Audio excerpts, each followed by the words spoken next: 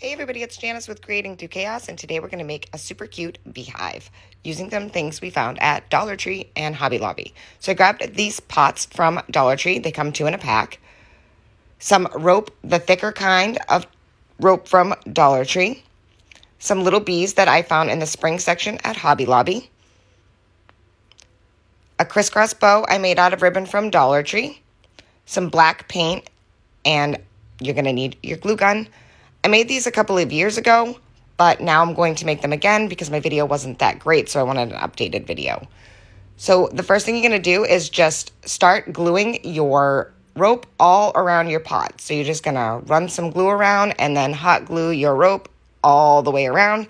And you're going to keep repeating this until you run out of rope, and then you're going to add some more on top of that.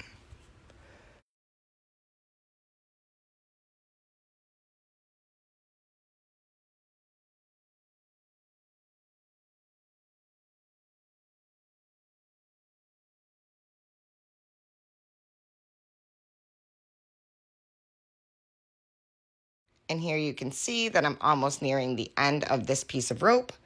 And now I'm just gonna cut off the excess and then I'm gonna hot glue that into place.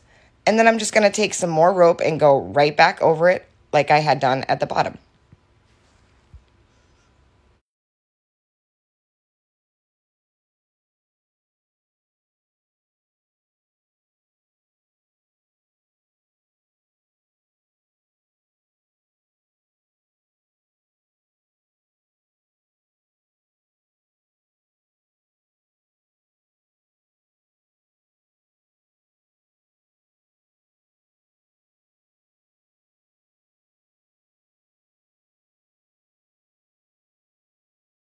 And you're just going to keep wrapping until you reach the top.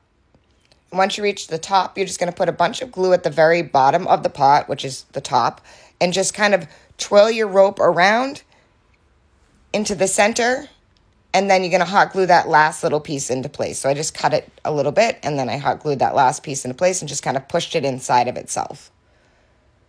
You're going to just let that dry while you hold it so it doesn't pop back up.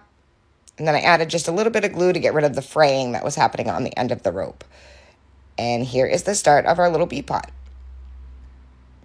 Next, I'm going to take another smaller piece of rope and I'm going to wrap it into a circle and hot glue it. And then I'm going to hot glue that to the very top of the pot.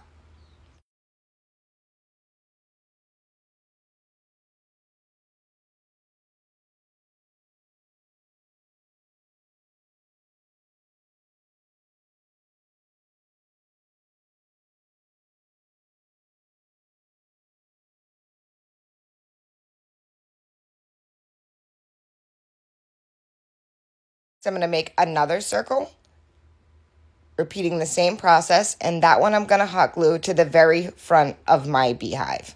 And you're going to want to center that little circle with the circle that you already made on the top.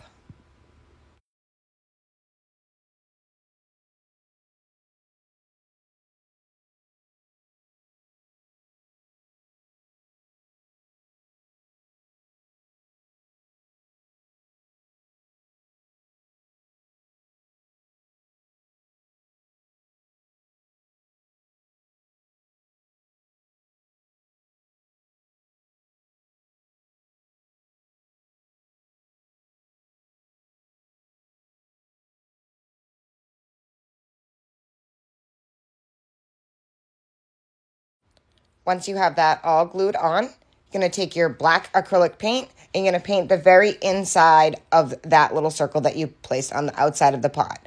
And you don't want to get it on the rope around on the circle, you just want to keep it on the very inside.